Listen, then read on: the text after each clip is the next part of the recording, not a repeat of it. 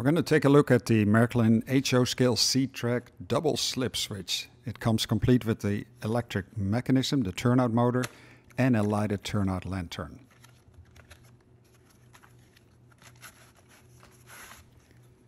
In the box you'll find obviously the double slip switch, little instruction booklet, and a set of plugs yellow, red, and green for the turnout motor, and then a yellow and brown for the light.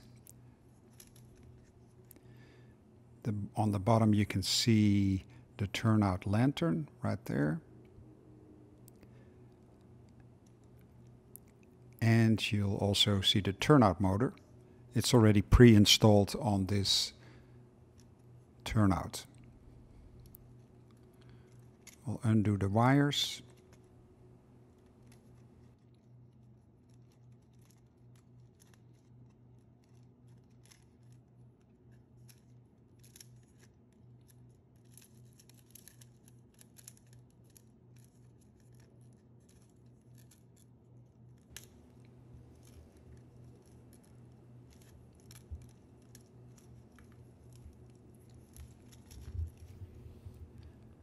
All right, so we have the brown and yellow for our light circuit.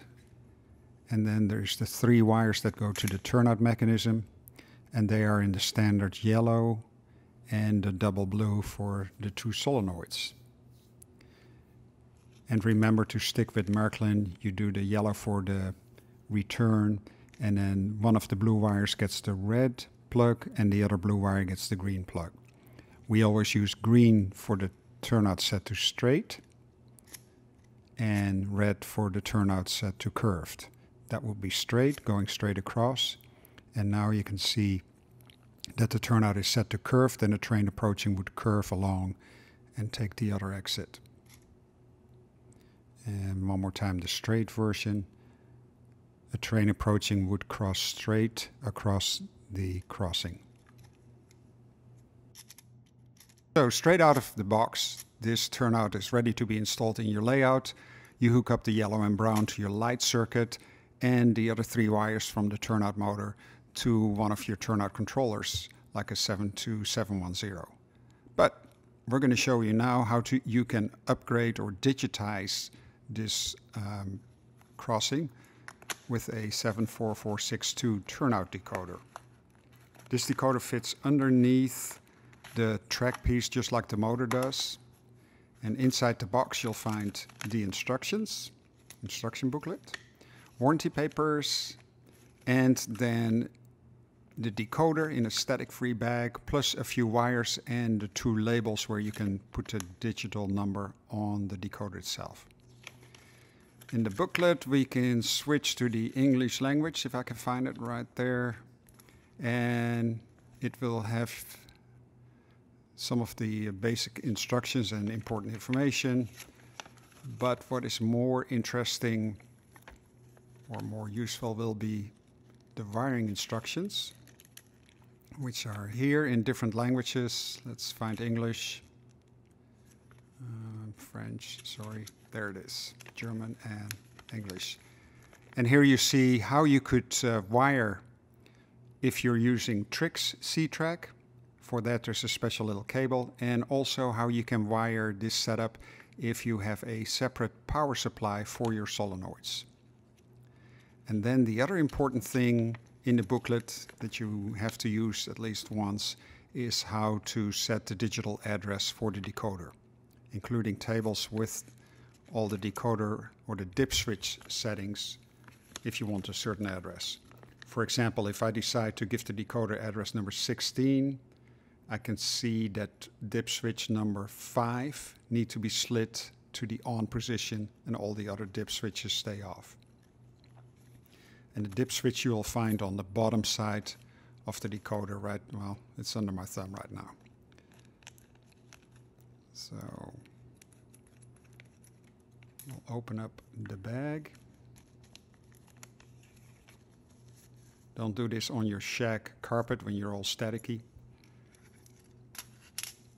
There's a set of labels, your little wire for use with Trix C-Track, and that's the power wire that needs to plug into the decoder. Here's the decoder itself with the set of dip switches. And they're numbered 1 through 10 and then on the top it says the little word on. And that tells you that if you slide them up they are in the on position.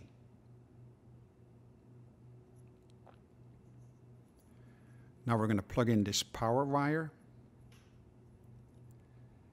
and one side is not smooth. I have it to the top right now and it will not fit if you try to push it in that way.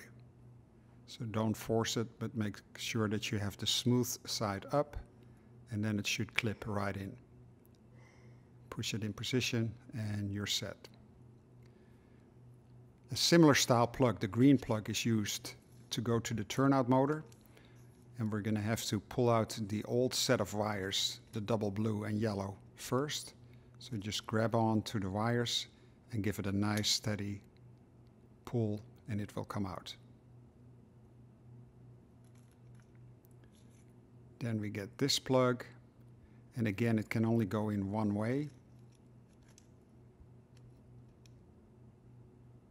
And I'm having a hard time trying to align it here looking at the video screen, but uh, almost. There, I got it. It's in place, but now I need to, with my fingernail, push it all the way in so that it's all the way flush. There. So that's the three wires that go from the decoder to the turnout motor.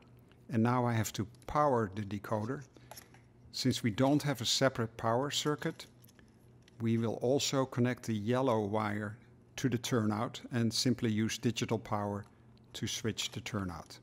So the yellow goes on that separate tab on the left hand side and then all you have left is the brown that goes to the outer rail and the red wire that goes also to the center rail. So I'll connect the red to the center rail connector again the left side. And you can see that's connected to the center rail if you follow the little silver line. And the brown one goes to the outer rail. So I'll slide it on there. And that's it for our electrical connections.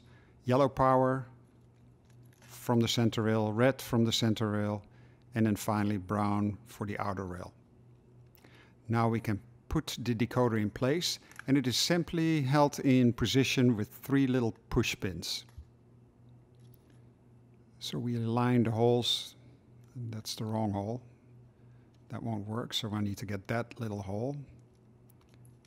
And now all three holes should line up, or all three pins should line up with the holes, and the decoder clicks in place. One there, one pin right there, and the last one right there. And that's sufficient to hold the decoder in place when you install it on your layout. Now what remains is to set the digital address on the dip switches, an address of your choice, and then you can take the little label, write the number on there and stick it on the decoder. This wire is no longer needed, so it can go in your parts bin. The Trix wire is not needed. And last but not least, the plugs are not needed, but again, very handy to have in your parts bin. And that concludes how to digitize the turnout, the 24624. Finally, you write the number on the label and stick it right there.